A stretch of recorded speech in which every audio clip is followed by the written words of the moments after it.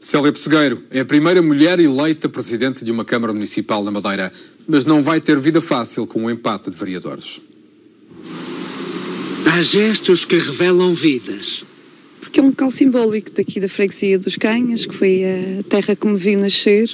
Eu nasci, sou mesmo nascida aqui nesta freguesia, ainda à moda antiga, com parteira em casa, e portanto quis também assinalar que era daqui que partia. Foi, foi aqui que tudo começou, foi aqui que, que vivi a maior parte da, da minha vida e, portanto, era aqui que eu queria dar o pontapé de arranque para aquilo que agora vem aí, que, que são quatro anos de trabalho na Câmara da Ponta de Sol. 37 anos, licenciada em Literaturas Clássicas, Célia Pessegueiro é a primeira mulher eleita presidente de uma Câmara na Madeira.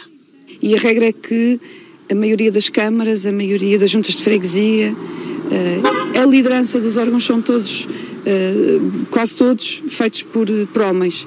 E, portanto, eu que estou há muitos anos na política e há muitos anos também tenho esta, esta formação, eu consigo ver muito bem que isto, isto não é sequer um ponto de partida.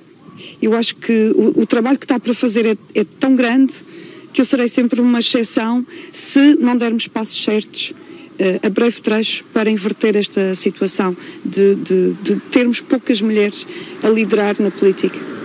Havia uma espécie de vulcão socialista adormecido na Ponta do Sol. Durante esta reportagem, a Presidente foi várias vezes saudada. Eu estou desde as oito e meia da manhã a atender telefonemas. Pois é normal. Mas não queria deixar de atender. Agora as mensagens vou ver o que é que faço para responder. Vou ter que me sentar um bocadinho e, ver uma a uma e responder. Calma, está toda a gente ali a falar, ninguém presta o diário, está tudo ocupado só para ver a Célia por Célia. A viagem é até a Câmara.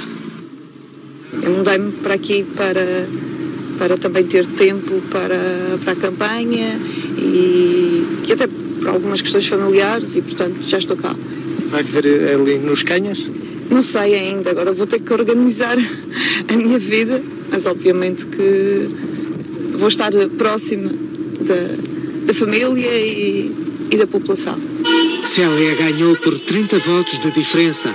Agora tem um problema para resolver quando chegar à Câmara. O PSD tem dois vereadores, o PS dois e o CDS um.